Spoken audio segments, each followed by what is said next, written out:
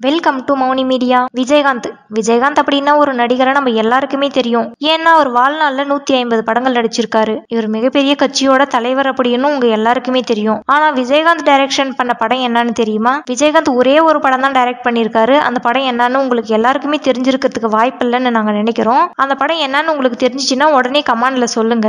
அந்த படத்தினுடைய பேரை நாங்க இப்ப சொல்ல போறதில்ல. அந்த படத்தினுடைய பேரை எதனால் அப்படி வச்சாங்க அப்படின்னு பார்த்துட்டு அதுக்கப்புறமா அந்த படம் என்னன்னு பார்க்கலாம். இவரு நிறைய புதுசா வர்ற எல்லா டைரக்டர்களுக்குமே அவங்க இது வரைக்கும் ஒரு படம் கூட எடுத்திருக்க மாட்டாங்க. அந்த டைரக்டர்களுக்கு கூட நம்ம விஜயகாந்த் வாய்ப்பு கொடுத்துருக்காரு. ஆனா அவருக்கு நாமளே ஒரு டைரக்டர் ஆகலாம் அப்படின்ற ஆசை வந்ததே இல்ல. எல்லா நடிகர்களும் ஒரு ஐம்பது படம் இல்ல நூறு படம் நடிக்கிறதுக்குள்ள ஒரு படம் நாமளே டைரக்ட் பண்ணலாம் அப்படின்னு டைரக்ட் பண்ணி பார்ப்பாங்க. ஆனா விஜயகாந்த் அப்படி நினைக்கவே இல்ல. நாம நடிச்சிங்களா? சம்பளம் வாங்குனீங்களா? படத்தை ப்ரொடியூஸ் பண்ணீங்களா? அப்படின்னு மட்டும் தான் இருப்பாரு. இவரு நிறைய படங்களுக்கு ப்ரொடியூஸ் பண்ணியிருக்காரு. ப்ரொடியூஸ் பண்ணி அவரே சம்பாதிச்சு அந்த காசுல ஏழைகளுக்கு நிறைய உதவிகளை பண்ணியிருக்காரு. ஆனால் அவருக்கு என்னைக்குமே டைரக்டர் ஆகணும் அப்படின்ற ஆசை வந்ததில்லை. தன்னை வந்து சுய பரிசோதனை பண்ணிக்கணும் அப்படின்றதுக்காக தான் ஒரு படம் டைரக்ட் பண்ணாரு.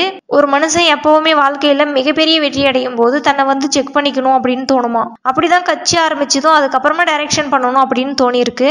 அவர் கூப்பிட்டா எத்தனையோ டைரக்டருங்க வந்து படம் கொடுப்பாங்க. ஆனால் அவருக்கு வந்து ஏன் என்னால் டைரக்ட் பண்ண முடியாதா? அப்படின்னு டெஸ்ட் பண்ணிக்கணும் அப்படின்னு தான் ஒரு படம் டைரக்ட் பண்ணாரு.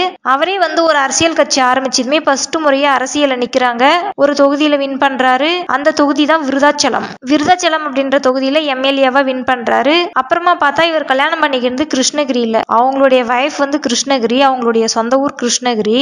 ஸோ கிருஷ்ணகிரியில் கல்யாணம் பண்ணிக்கிறாரு. முதல் முறையாக கட்சி ஆரம்பிச்சு ஒரே ஒரு எம்எல்ஏ அவர் கட்சியிலேயே ஒரே ஒரு எம்எல்ஏ தான் வின் பண்ணது. எல்லா தொகுதியிலுமே எல்லா எம்எல்ஏக்களும் தோத்துட்டாங்க. ஒரு தொகுதியில மட்டும் இவர் தனியாவே எம்எல்ஏ வராரு அந்த தொகுதி தான் விருதாச்சலம். அதனால இவர் வந்து அந்த விருதாச்சலத்துல இருந்து விருதை எடுத்துக்கினாரு. தன்னுடைய மாமியார் வீடு கிருஷ்ணகிரி அப்படின்றதுனால லாஸ்டா இருக்கிற கிரியை எடுத்துக்கினாரு. அதை தான் விருதகிரி அப்படின்னு படத்துக்கு டைட்டியல வைக்கிறாரு. அதாவது விஜயகாந்த் அவர்கள் அவருக்காகவே டைரக்ட் பண்ணிக்கின படம் என்னன்னா அதுதான் விருதகிரி. இந்த விருதகிரி படம் ஆவரேஜ் படம் தான் இட்டுன்னு சொல்ல முடியாது தோல்வி படம்னு சொல்ல முடியாது. ஆவரேஜான படம் தான் அந்த படத்துல இவர் நல்ல கெத்தா தான் நடிச்சிருப்பாரு. அந்த படம் அவர் டைரக்ட் பண்ணதுமே அதுல நிறைய சர்ச்சை வந்துச்சு. அது வந்து ஒரு வெளிநாட்டுல ரிலீஸ் ஆன படத்துடைய காப்பி அப்படின்னு சர்ச்சை வந்துச்சு. அதுக்கு என்ன பதிலுன்னு தெரியல.